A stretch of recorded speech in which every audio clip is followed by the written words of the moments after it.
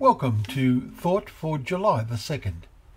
Our readings are 1 Samuel chapter 14, Isaiah chapter 58, and Matthew chapters 1 and 2. And our thought is called a Nazarene. Today we began reading the New Testament from Matthew's Gospel. It is understood it was written primarily for the Jews, as it quotes the Old Testament prophecies quite a lot. One or two are prophecies that we would not readily identify as prophecies fulfilled in the life of Jesus, and this is a lesson for us in trying to correctly identify prophecies about events that relate to the time Jesus returns, to know beforehand all that is to actually happen.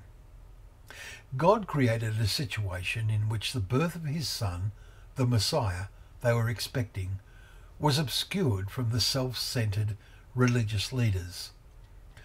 One of the main reasons they gave for rejecting Jesus was to say, Is the Christ to come from Galilee?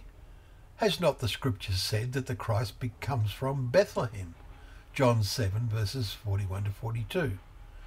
And Matthew chapter 2 ends by telling us that his parents, when they returned from Egypt, went and lived in a city called Nazareth, that what was spoken by the prophets might be fulfilled. He shall be called a Nazarene. Now, what prophet said this? We need to put the scriptures together to get a full picture of the forebears of Mary and Joseph and the significant characters among their forebears. We are about to read in 2 Samuel how David was born in Bethlehem.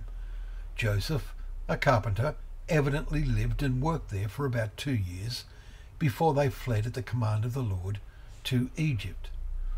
The wise men, we are not told how many, found the one born to be King of Kings in the house, chapter 2, verse 11, in Bethlehem. They then went and lived in Egypt until after the death of Herod, we read in verse 20, and then came to Nazareth again to re-establish life there, Luke chapter 2, verse 39.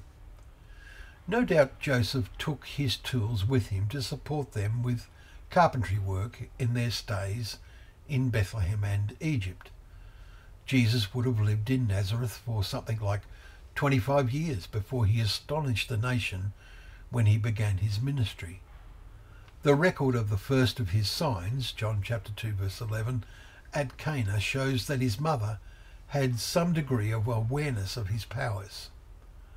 Truly, as a hymn says, God works in a mysterious way his wonders to perform. But those who read God's word diligently can unravel many of those mysteries. The major mystery challenging us now is the full nature of the events that are to occur at the return of Christ.